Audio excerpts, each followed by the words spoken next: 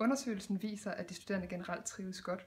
88 procent angiver, at de er tilfredse med deres uddannelse, og det hænger nok sammen med det høje faglige engagement. 9 ud af 10 glæder sig til at komme ud og anvende deres uddannelse, når de er færdige. Det er utroligt glædeligt, at vi har formået at fastholde den høje øh, faglige trivsel, som vi også har set i tidligere undersøgelser.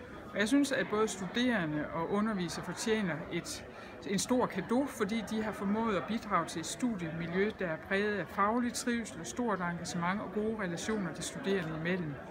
Så glæder jeg mig over, at så mange studerende ser frem til at anvende deres uddannelse.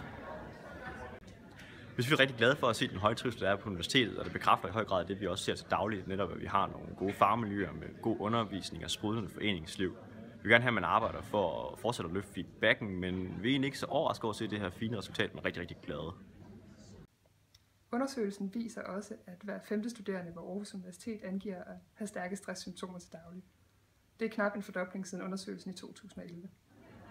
Den store fremgang i stress synes vi selvfølgelig både er rigtig sørgelig og også rigtig kritisk. På et individniveau synes at man skal kigge på, at de studerende, der føler sig ramt af stress, får den rigtige individuelle hjælp og øh, rådgivning til at komme videre. Men på et strukturelt niveau synes vi også, at man skal kigge på, om de regler, man har lavet, både fra politisk hold, men også på universitetet, særligt omkring fremdriftsreformen, øh, skader de studerende. Det er både bekymrende og tankevækkende, at så mange har stresssymptomer. Og når jeg snakker med studerende, så nævner de tre ting, øh, som jeg har hæftet mig ved. Forventningsafstemning. Vi skal blive tydelige omkring, hvad det vil sige at læse på universitetet. Så er der fremdriftsreformen, som vi desværre ikke kan gøre noget ved, men vi kan blive bedre til at støtte de studerende med planlæggende eksamener og undervisning.